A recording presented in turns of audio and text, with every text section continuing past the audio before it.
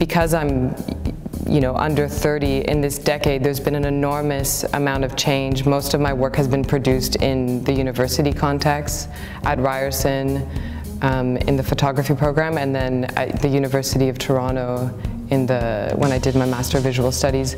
I'm still very much in a growth period um, as an artist.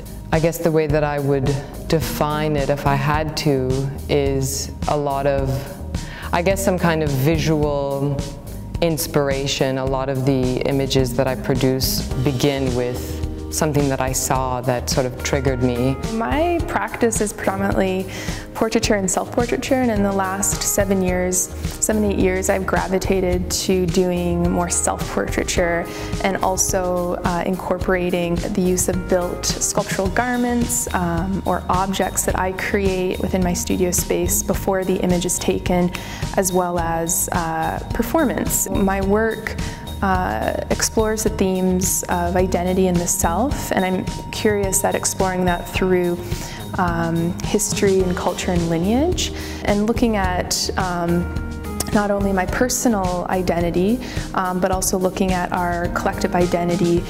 I would say I'm very much um, a printer, you know, in a big way. Like, I think it took me a long time in my practice to kind of um, identify as a shooter, which is a little weird for photographers because shooting's like you know one of the biggest parts of what we do. But for me, it was like so always so much about the print and the materiality of the print and the texture of different papers and um, you know the print as an object.